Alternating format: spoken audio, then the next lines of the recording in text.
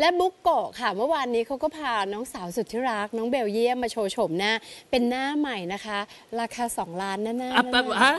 หน้าใหม่ราคาเท่าไหร่นะ สองล้านค่ะสองล้าน เออ อยากเห็นเลยใช่ไหมเป็นไงล่ะ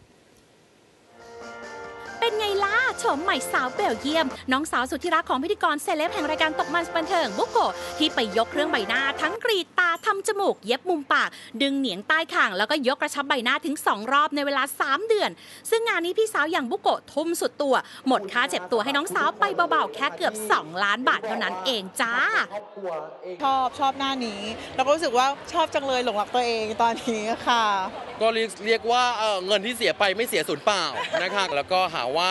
ยังไปต่อได้อีกไหม ก็มีบางจุดที่ไปต่อได้แล้วก็ต้องยอมรับความจริงนะ ว่าทำรอบเดียวอะบางคนรู้สึกว่าโอ๊ยพอตอนผ่าตัดแล้วแบบพอไม่เอาแล้วรักษานาน แต่บุกโกะก็เอาตัวเองเป็นประธานนะคะว่าแหมมันยังไปต่อได้อีกหน่อยนึงเนาะบางจุดเล็กๆ น้อยๆเดี๋ยวเราก็เก็บตรงนั้นเติมตรงนี้ให้มาอยู่ในความพอเหมาะพอ